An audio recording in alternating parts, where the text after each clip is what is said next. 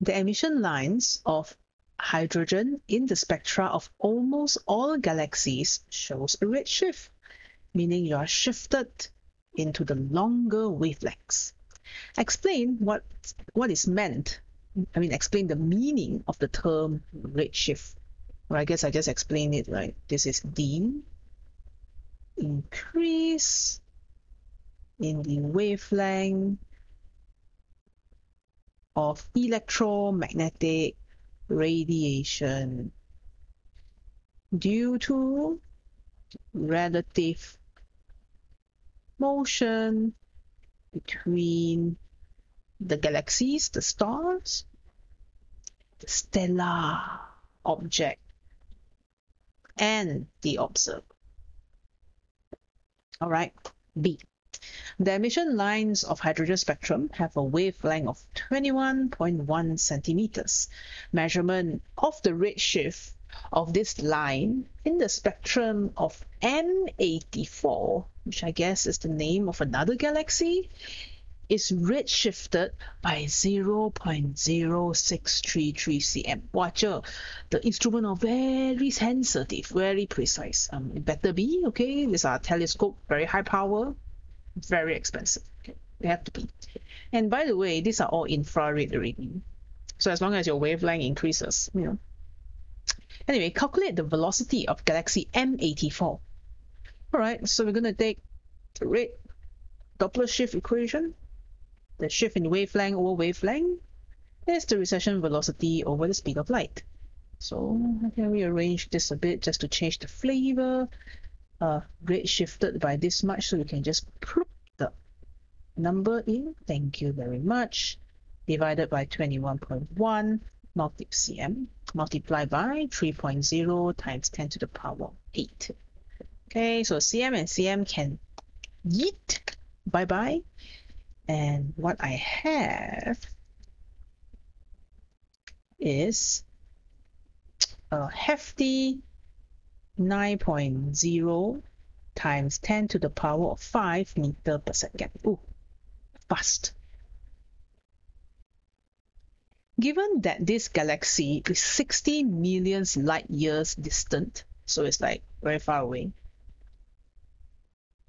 calculate the value for the Hubble constant in second negative one. Okay, so just a quick reminder, the Hubble's law equation, recession velocity is h naught times d.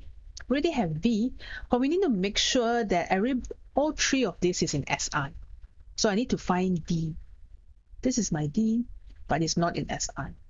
So 60 million, million is 10 to the power of 6, okay? 60 million 10 to the power of 6. Okay, and also uh, we need to convert light years into meter. Thankfully, we are given the value of one light year, 9.46 times 10 to the power of 50.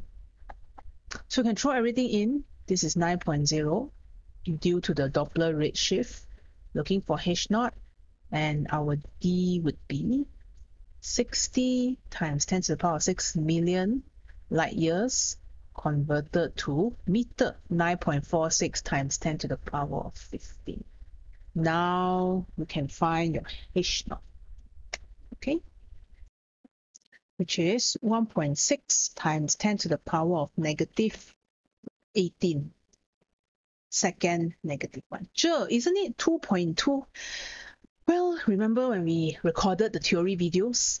Miss Ellie and I mentioned that there are a lot of sources of uncertainties because we're measuring something that's really, really far away that change very, very little. Okay, it's a bit like measuring today in in the past one hour or in the past uh four minutes of watching this lecture video how how much your hair grow so it's very sensitive, very prone to errors. Okay, but it's good enough as long as we have the 10 to the negative 18. We're not that bad, right? D.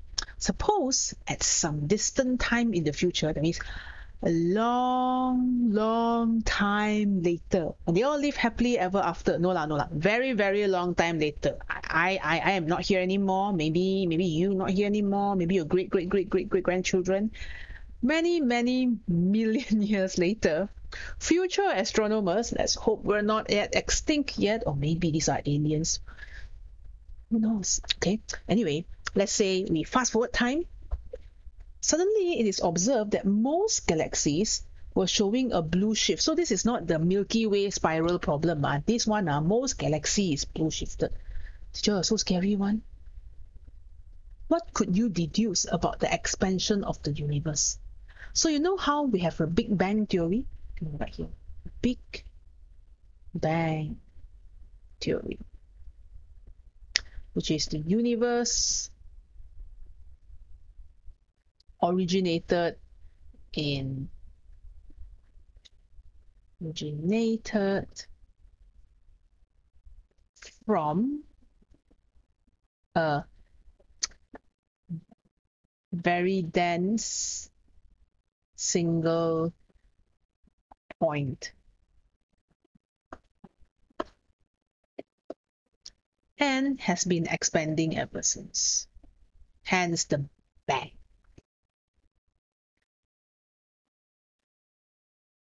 This one is shown in redshift.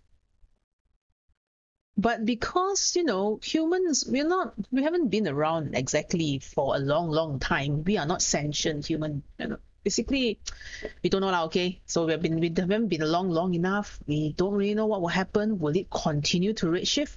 We don't know. But let's say we suddenly see a blue shift. Then we're going to talk about the big bounce.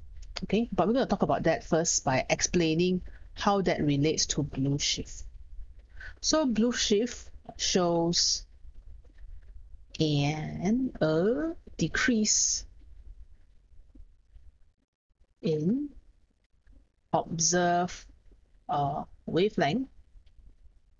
So this shows that all galaxies are moving towards each other. GG. Expansion stop now. Yes. So they were expanding and then come back. This would suggest that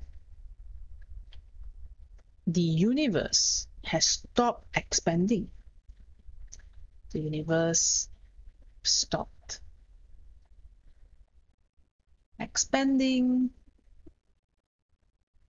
and is now contracting. This is my answer. Okay? And this has a name. It's called the Big Bounce. Boing, boing. So the universe will expand and then it explodes. It will just oscillate. Okay? So it all started from the same point, it explodes, and after that it shrinks back to the same point, and it explodes and shrinks back to the same point. You know, I talk so much for what I show you GIF lah. There you go. It expands, it goes towards each other, it expands again, goes towards each other. So that's the big bang, then the big crunch. Big bang, big crunch.